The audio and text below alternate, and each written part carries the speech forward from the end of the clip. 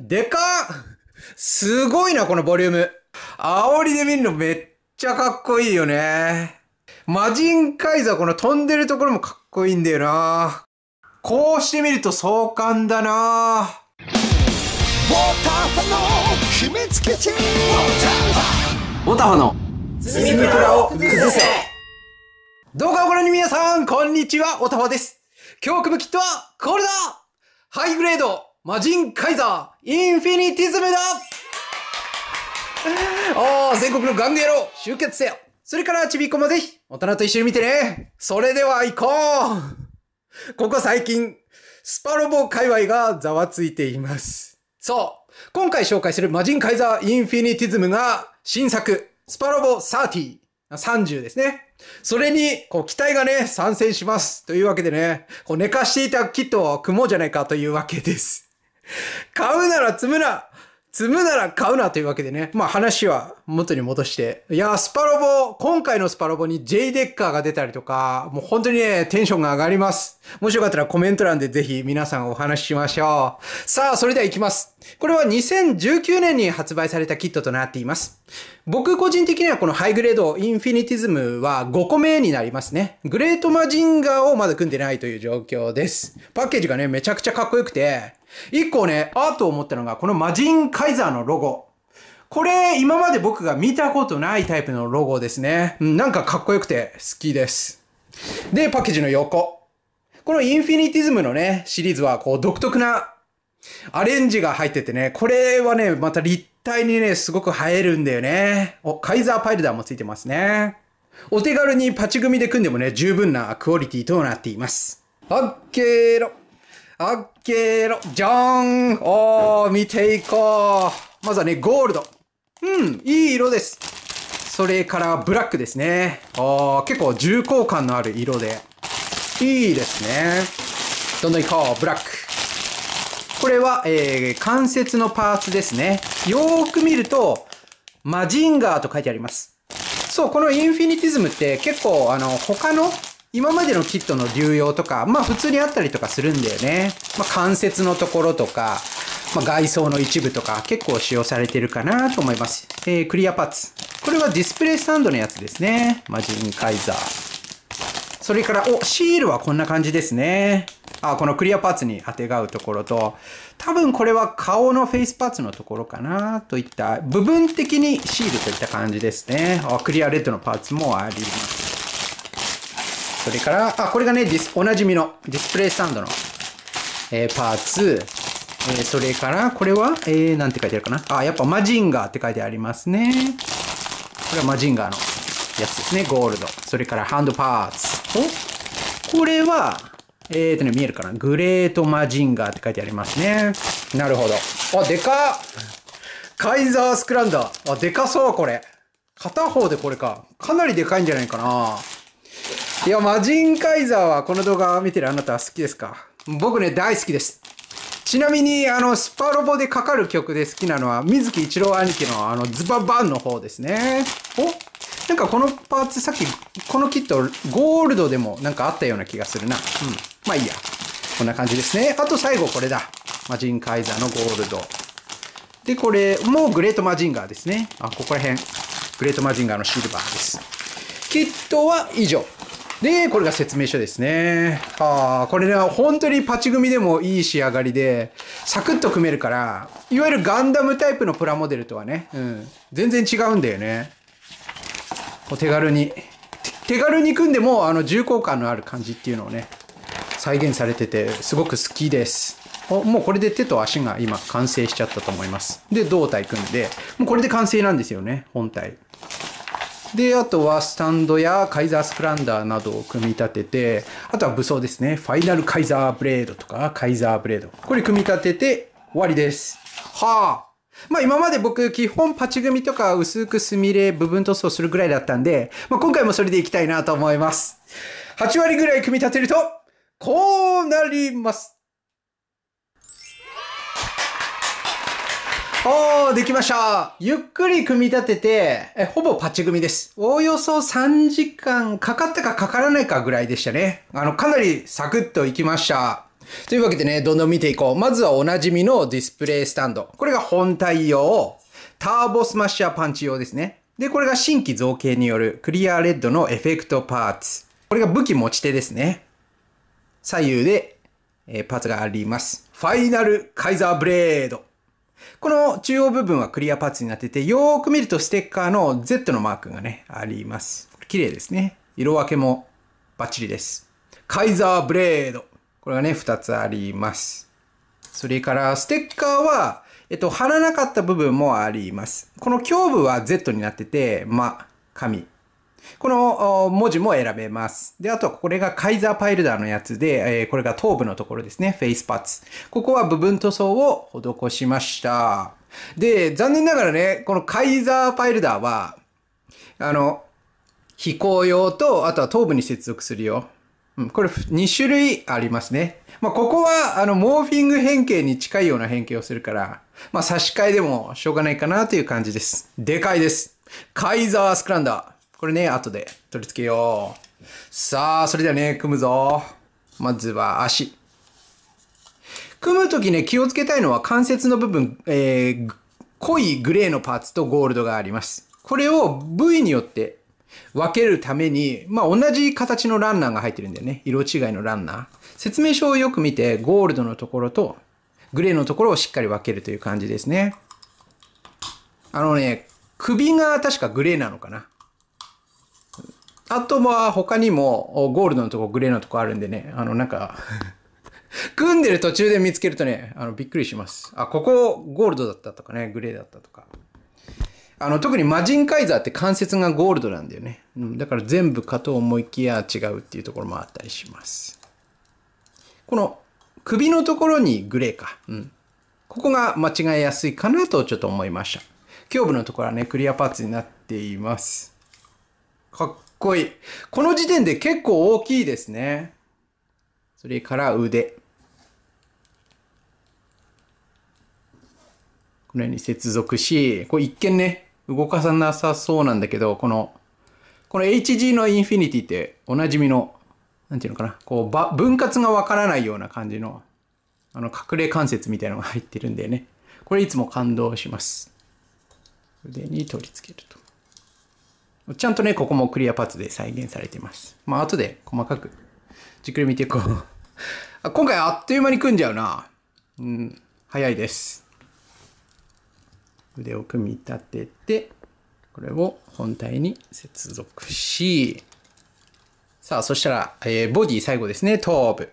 ここら辺かなり細かく色分けしています。頭部を取り付けて、さあ、そしたら最後。やっぱパイルダーオンだね。えーえー、カイザーパイルダー。うん。まあ、さっきも言ったけど、これが取り付けられなくって、えー、これに差し替わります。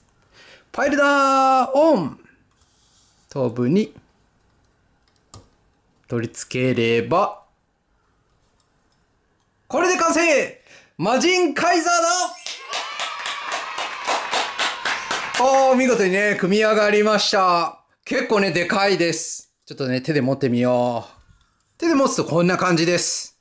この造形めちゃくちゃいいな全体のプロポーションはこんな感じです。もう申し分ないですね。あの、インフィニティズムのそのテイストがかなり入った、シュッとしたマジンカイザーという感じですね。まあ、マジンカイザーも、まあ、OVA 版、あとはスパロボ版、あとは他にもあるのかな。まあ、いくつかあると思うんだけど、うん、なんか、大体の人が思い浮かべるあのかっこいい魔人カイザーっていうそのイメージ通りのプロポーションとなっています。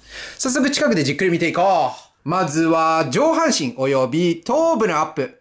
頭部よーく見ると部分塗装をしています。えっ、ー、とね、このスリットのところとか、ところどころ黒に見えているところは塗装を施して、あとこのフェイス部分の赤いラインですね。ここはシールじゃなくて部分塗装を施しました。このカイザーパイルダーの青いところとかはプラになっています。で、えー、同じくカイザーパイルダーのイエローのところとかブラックのラインはシールとなっています。だけどこれパチ組でも非常にいい出来だね。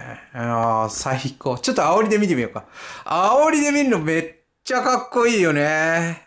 こんな感じです。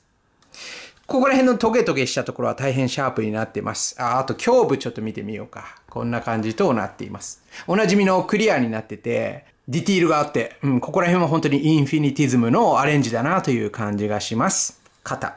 ちゃんとここにカイザーブレードの、あの、エンドグリップのところのクリアパーツがあります。が、これは取ったりとかはできないですね。腕。ターボスマッシャーパンチをね、発射します。こんな感じ。結構ね、グレートマジンガーのパーツが多かったかなと思いますね。後ろから見るとこんな感じ。穴が開いてるのは、あまあ、カイザーえー、スクランダーをね、えー、取り付けるからというわけです。カバーパーツなどは特になし。各部を動かして、アクションあの、実はあんまりほとんど動かしてないです。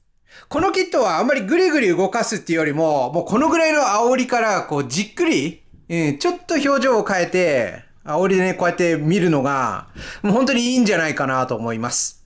離れてみるとこんな感じ。重厚感がすごくあります。大きく動かして、アクションこんな感じのね。まあ動かないとは言っても、まあこのぐらいは動くんだけど、その足首が内側に回らないから、結構ね、設置性になありといった感じですね。あの、開脚させるポーズは少し苦手かなと思いました。こいつを食らえターボスマッシャーパンチというわけでエフェクトに取り付けてみました。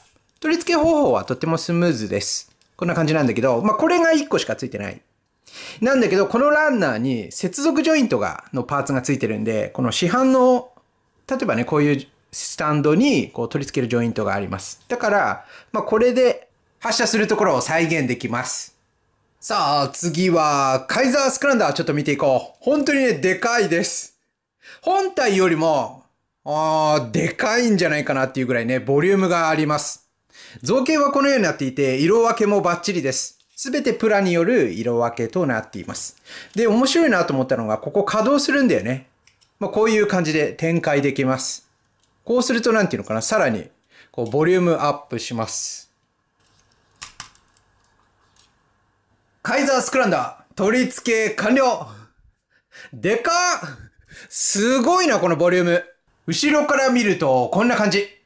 まあもうご覧いただいた通り、かなりね、バックヘビーな感じとなっています。だからちょっと倒れやすくなるんだけど、まあ上手に調整すれば全く問題なくしっかりとね、立たせることができます。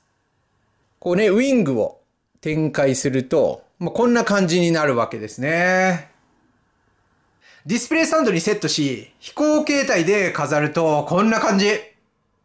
魔人カイザーこの飛んでるところもかっこいいんだよなこんな感じでディスプレイすることができます。さあ次カイザーブレード両手で持たせるとこんな感じ。結構魔人カイザーの立体物って、このカイザーブレードがオミットされてたりとかするんだけども、今回はね、ちゃんと両方、カイのファイナルカイザーブレードとね、このカイザーブレード、両方ついてるところがありがたいですね。さあ、そして最後の武装は、ファイナルカイザーブレード。手に持たせるとこんな感じで、さっきのカイザーブレードよりも一回りぐらいね、大きいんで、とても迫力があります。本体の稼働、武装、アクションはこんな感じ。さあ、そして最後は比較。一気に行こうじゃんダイナミックロボ、大集結。グレンダイザー、鋼鉄ジーグ、マジンガー Z、そしてゲッタードラゴン。こうしてみると壮観だなどれもインフィニティズムを感じます。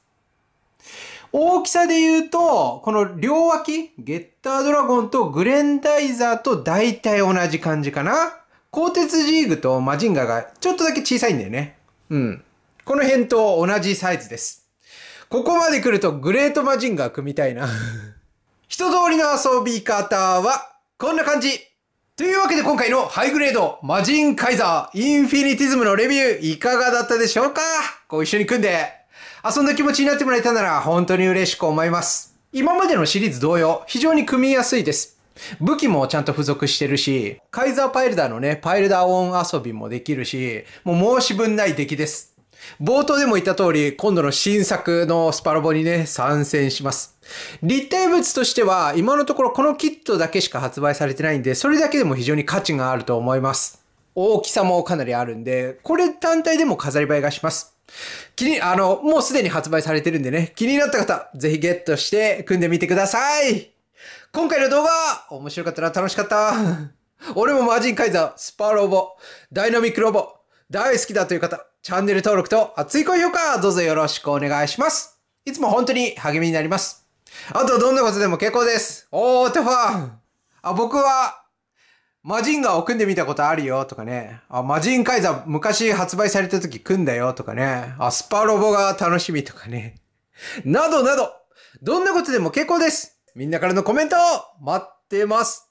それでは次の動画でお会いいたしましょう。おたでしたまたねー。ガンリアの集結せよ。